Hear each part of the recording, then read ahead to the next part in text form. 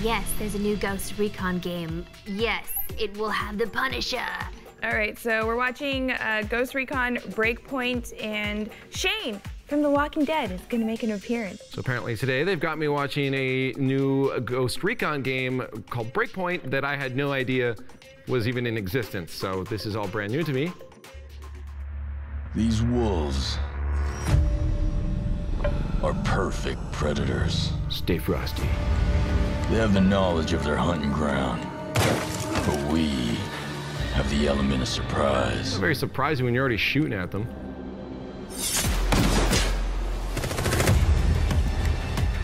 They have the technology. But we have the skills to even the odds. And we have the voice to sound cool and badass while doing it. So you have the technology too?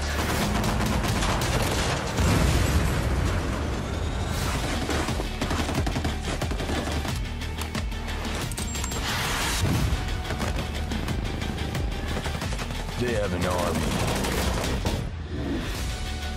We fight with our brothers. I haven't seen the Punisher not one time yet. It's like such a cliche trailer.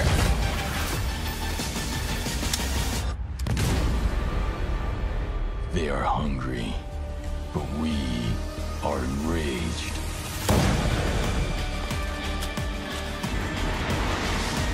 I don't know, these, these cinematics don't We are ghosts. give you much idea of what's going on.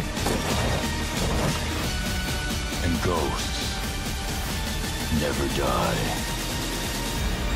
I mean, you had to die to become a ghost in the first place. I don't know. I don't know. I learned nothing. I learned absolutely nothing. Uh, the voice acting was pretty good. I like the VO. Uh, well done. Congrats to your casting on that. I love uh, Shane from The Walking Dead, but it's just like his voice is like just the cliche for this genre of game. Um, am I gonna play it? Probably because it has Shane from The Walking Dead and the Punisher in it. Um, but we don't play as him, so maybe not. I don't know.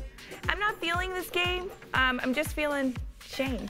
How this works, but basically you are not playing as John. Like you're not playing as the Punisher. You were playing against him. Like he basically uh, runs the scene here in Aurora, and those are that's his giant army, and you have to fight against them. I feel like there wasn't enough information in that trailer itself. It looks really cool.